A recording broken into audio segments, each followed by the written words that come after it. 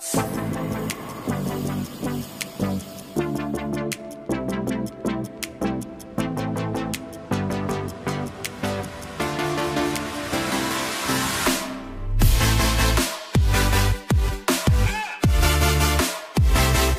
malutong at malinamnam na lechon ay binago din ng panahon.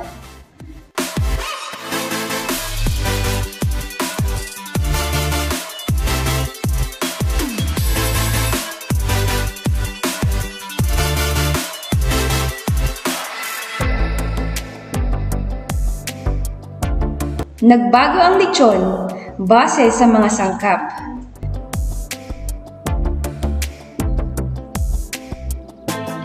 Pati na rin bilang pangregalo. Maging sa kulay at itsura, ang paboritong mapula at malutong na lechon ay tuluyan ng nagbago.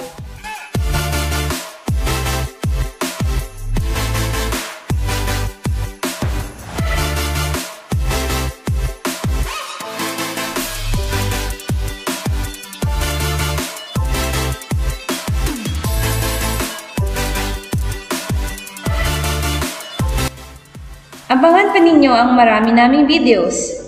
Click and subscribe Markaduket TV.